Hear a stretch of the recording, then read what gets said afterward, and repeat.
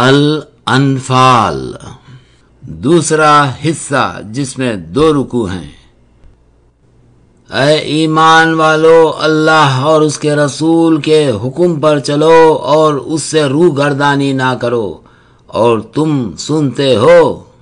اور ان لوگوں جیسے نہ ہونا جو کہتے ہیں کہ ہم نے سن لیا مگر نہیں سنتے یعنی یہود۔ کچھ شک نہیں کہ اللہ کے نزدیک تمام جانداروں میں بدتر، بہرے، گونگے ہیں جو کچھ نہیں سمجھتے۔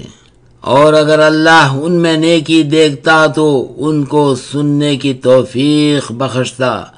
اور اگر اسماعت دیتا تو وہ منہ پھیر کر بھاگ جاتے۔ مومنو، اللہ اور اس کے رسول کا حکم قبول کرو۔ جبکہ رسول اللہ تمہیں ایسے کام کے لیے بلاتے ہیں جو تم کو زندگی بخشتا ہے۔ اور جان رکھو کہ اللہ آدمی اور اس کے دل کے درمیان حائل ہو جاتا ہے۔ اور یہ بھی کہ تم سب اس کے روبرو جمع کیے جاؤ گے۔ اور اس فتنے سے ڈرو جو خصوصیت کے ساتھ انہی لوگوں پر واقع نہ ہوگا جو تم میں گنہگار ہیں۔ یعنی جب عذاب آتا ہے تو سب پر آتا ہے۔ اور جان رکھو کہ اللہ سخت عذاب دینے والا ہے۔ اور یاد کرو جب تم زمین میں خلیل اور ضعیف سمجھے جاتے تھے اور ڈرتے رہتے تھے کہ لوگ تمہیں اڑا لے جائیں۔ یعنی بے جان و مال نہ کر دیں۔ تو اس نے تم کو جگہ دی اور اپنی مدد سے تم کو تخفیت بخشی اور پاکیزہ چیزیں کھانے کو دیں تاکہ شکر کرو۔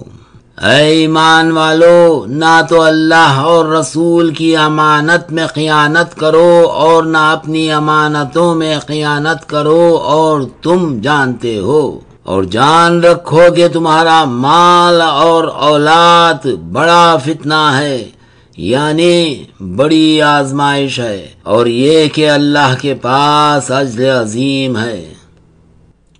اے ایمان والو، اگر تم اللہ سے ڈرو گے تو وہ تمہارے لیے امر فارغ پیدا کرے گا یعنی تم کو ممتاز کر دے گا اور تمہارے گناہ مٹا دے گا اور تمہیں بخش دے گا۔ اور اللہ ذل فضل العظیم ہے یعنی اللہ بڑے فضل والا ہے۔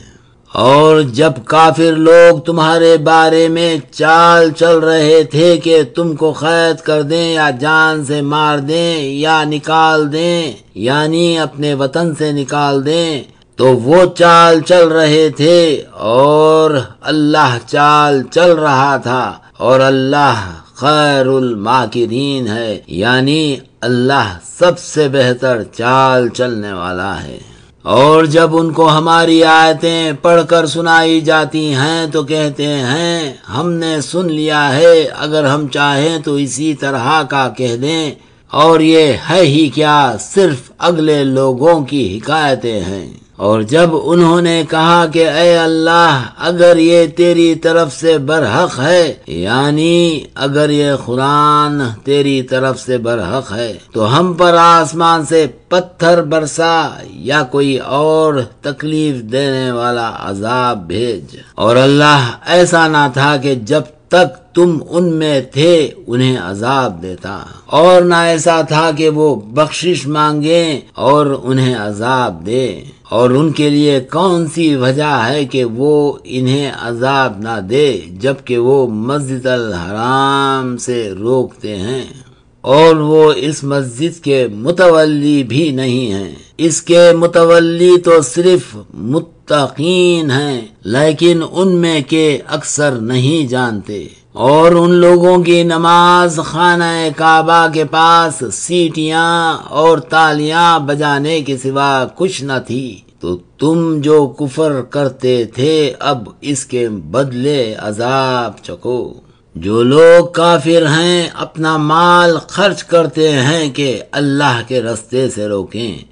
سو ابھی اور خرچ کریں گے، مگر آخر وہ ان کے لیے افسوس ہوگا اور وہ مغلوب ہو جائیں گے اور کافر لوگ دوزخ کی طرف ہانکے جائیں گے۔ تاکہ اللہ پاک سے ناپاک کو الگ کر دے اور ناپاک کو ایک دوسرے پر رکھ کر ایک ڈھیر بنا دے۔ پھر اس کو دو میں ڈال دے یہی لوگ خسارہ پانے والے ہیں۔